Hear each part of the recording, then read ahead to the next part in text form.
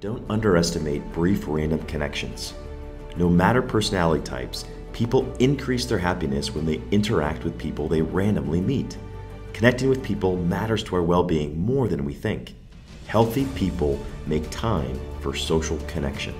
Think of your well being like a leaky tire of a car. You don't connect with someone once and then are filled forever. Our minds might tell us that a quick convo will be awkward, too time consuming, or not worth it, but those intuitions are wrong, even for shy folks. Brief human interactions are the burst of air we need for our well being tires, and according to research, we need them regularly in order to stay inflated.